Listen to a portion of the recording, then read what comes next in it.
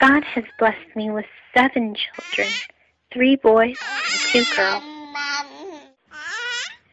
My heart rejoices in the Lord. The Lord has made me strong. Now I have an answer for my enemies. I rejoice because you rescued me. No one is holy like the Lord. There is no one besides you. There is no rock like our God. Stop acting so proud and haughty. Don't speak with such arrogance, for the Lord is a God who knows what you have done. He will judge your actions. The bow of the mighty is now broken, and those who stumbled are now strong.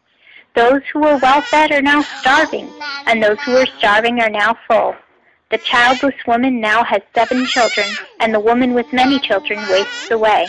The Lord gives both death and life. He brings some down to the grave, but raises others up.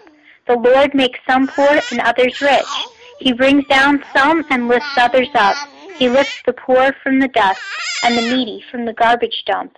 He sets them among the princes, placing them in seats of honor. For all the earth is the Lord's, and he has set the world in order. He will protect his faithful ones, but the wicked will disappear in darkness. No one will succeed by strength alone. Those who fight against the Lord will be shattered. He thunders against them from heaven. The Lord judges throughout the earth. He gives power to his king. He increases the strength of his anointed one. Mm-mm.